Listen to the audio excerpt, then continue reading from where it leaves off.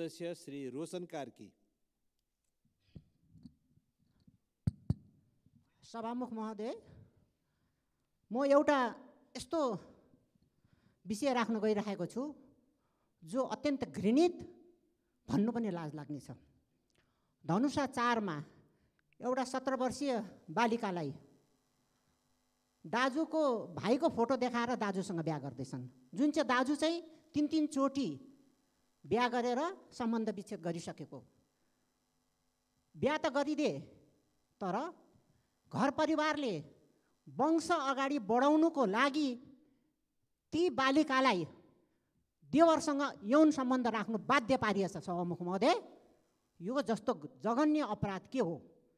त्यसपछि उनी मानिनन् कुटपिट भयो तिनीमाथि। शारीरिक यातना दियो। त्यसपछि उनीलाई उनको देवरले बारम्बार बलात्कार गर्यो। उनी दिक्क भएर प्रहरी समक्ष गइन्।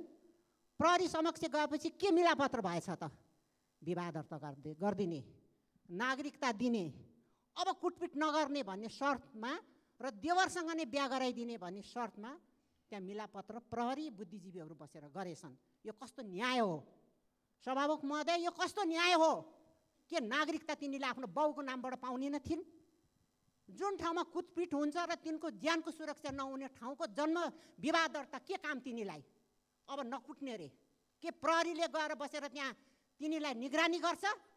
म गृहमन्त्रीज्यूलाई सभामुख मार्फत म अनुरोध गर्न चाहन्छु यस्तो जघन्य अपराध गर्ने अपराधीहरूलाई तुरन्त कडाभन्दा कडा सजाय दियोस्। यिनीहरूलाई अब उपरान्त कसैले पनि नेपाली महिलालाई भैँसी गाई र बाख्रा जस्तो व्यवहार नगरोस्। धन्यवाद।